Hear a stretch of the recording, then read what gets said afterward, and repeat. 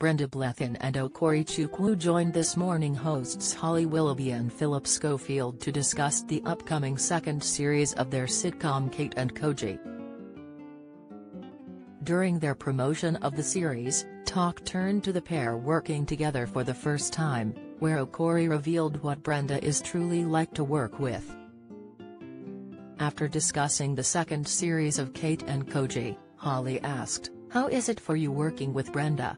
Oh, Okori teased, I mean, you know I hope she can block out her ears a little bit.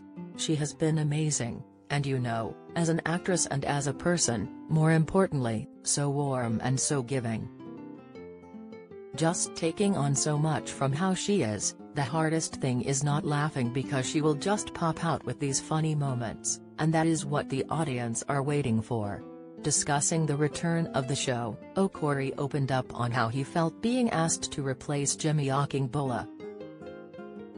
He said, I think I read the script, and I really felt a connection with Koji, when the job was offered, I did think it was an unusual way to onboard the show. But, it was a hit show, and I thought it was an amazing comedy, a bit nervous, but everyone was so welcoming and so warm and the way the team got me involved. Brenda added, it was a very easy transition actually because we had missed a year because of the lockdown, there has been a two-year gap. So coming to it fresh for all of us really, and we just love Okori, we love him as Koji. Kate and Koji Season 2 faced serious delays in filming due to the COVID pandemic, which led to a clash in schedules for Jimmy. The actor had signed up for HBO's The Fresh Prince of Bel-Air reboot and this meant he wasn't able to film the second series of the ITV sitcom. Due to the change in Jimmy's schedule, the creators were forced to find a new actor to replace Koji, which is where Okori landed the role.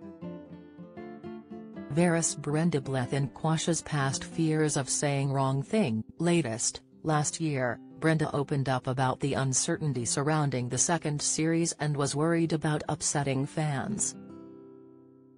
She told ITV, I was due to start Kate and Koji in the studio in January 2021, but there were too many challenges, you couldn't have a studio audience. I'm playing a character who is serving tea and sandwiches all day long, and because of COVID protocol, I wouldn't have been able to pass anything to anyone else. And of course, we had to stay 2 meters apart. So, the producer has delayed it until after I've finished work on Vera later this year. Fans were delighted to find out that the ITV sitcom was finally returning for a new series and took to Twitter to express their excitement.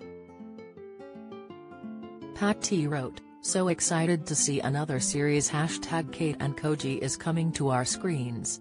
Kelly added, looking forward to new series of Hashtag Kate and Koji some light relief from what's going on in the world.